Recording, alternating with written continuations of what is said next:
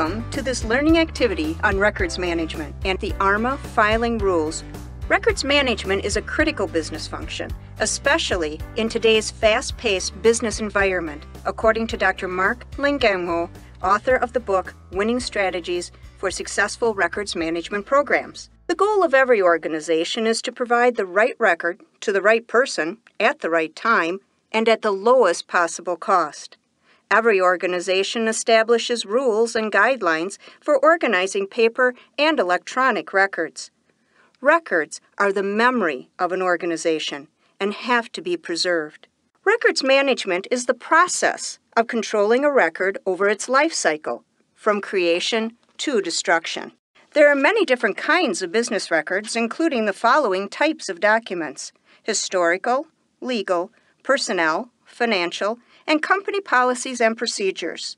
Businesses work with four major types of records vital, important, useful, and non essential.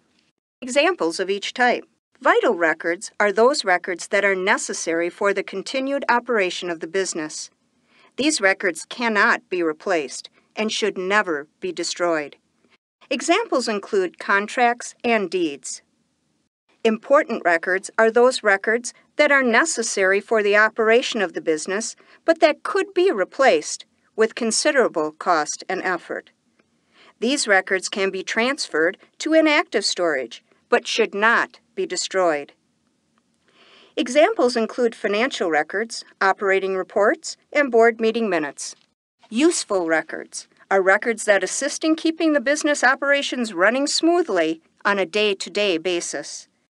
These records are replaceable, but add an inconvenience to the company. They can be moved to inactive storage and or destroyed after a period of time. Examples include letters and reports. Non-essential records are those records that do not provide future value to the company. They may be destroyed after they have served their purpose. Examples include memos, notices, and newsletters. Can you identify the type of record? Let's move each green document to the correct yellow folder.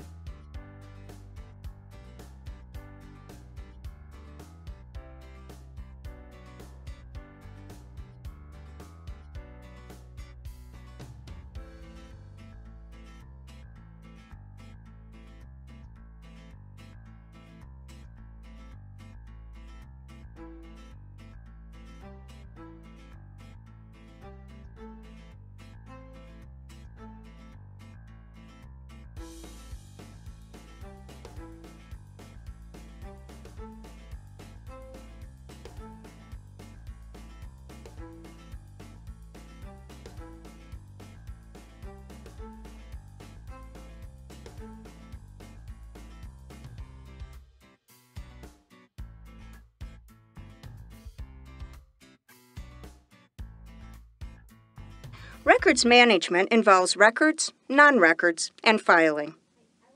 A record is recorded information, regardless of the media used to create it, that is created or received and used in the operation of an organization.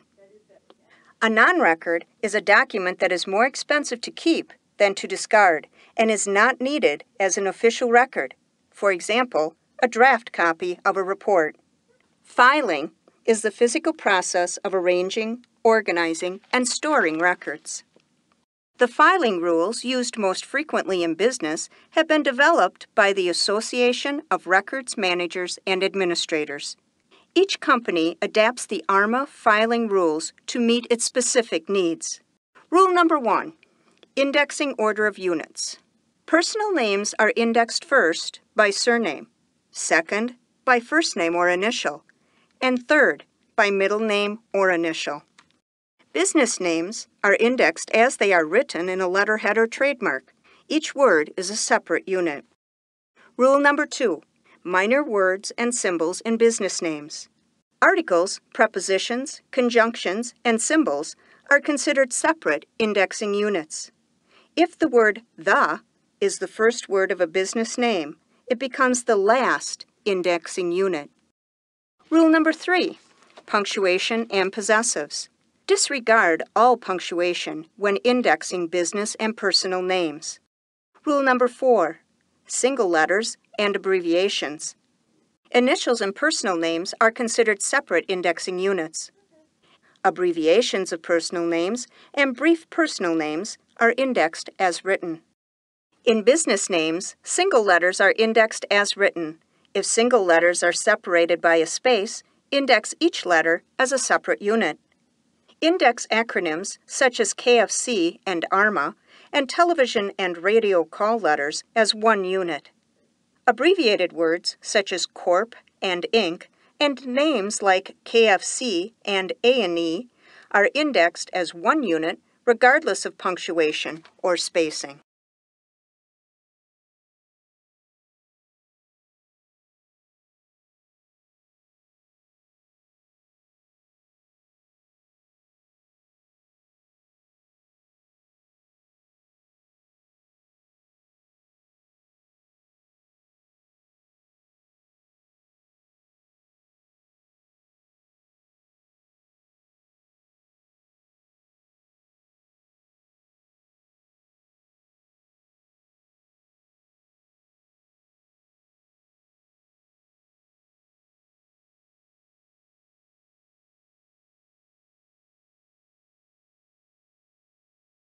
Rule number five Titles and suffixes.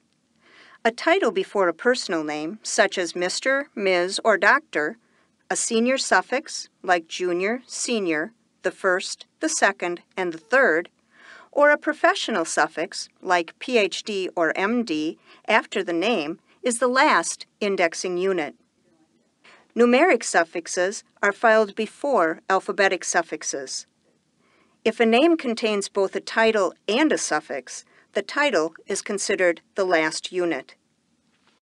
Royal and religious titles, followed only by either a given name or a surname, are indexed as written. Titles and business names are indexed as written. Rule number six, prefixes, articles, and particles.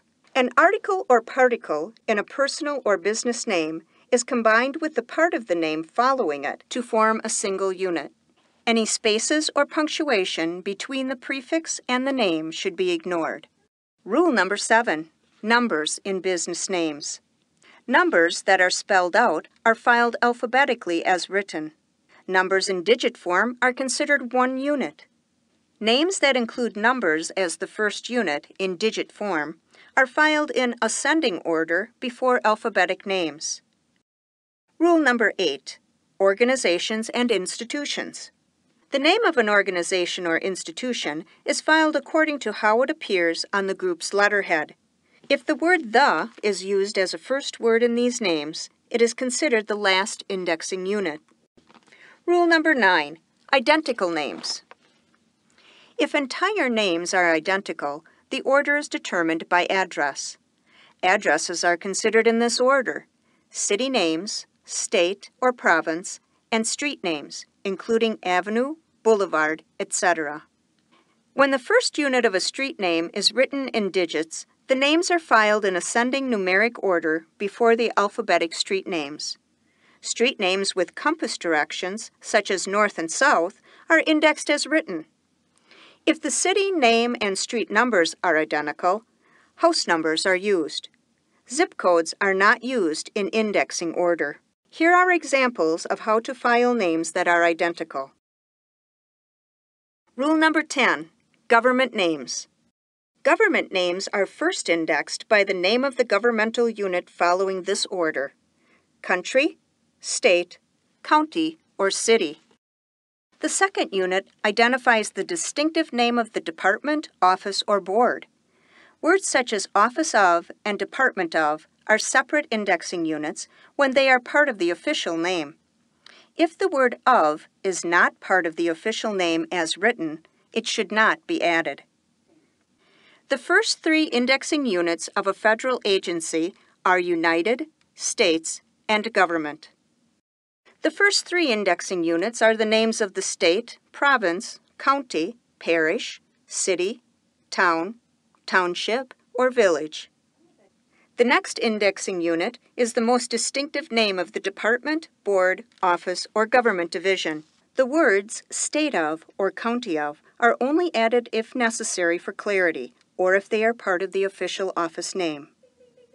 When filing the name of a foreign government, the English name is the first indexing unit. The remainder of the formal name is indexed next if it is needed and if it is part of the official name. The names of departments and divisions follow in order.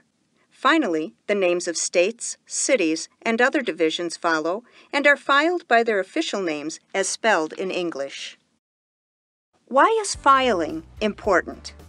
Easy access to critical documents and to communications saves time.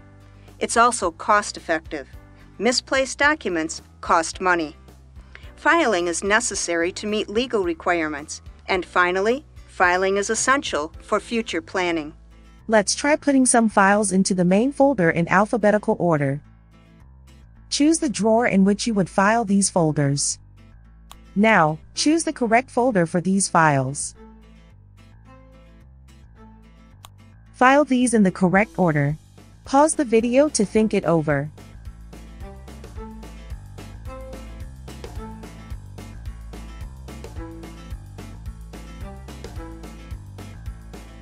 Congratulations!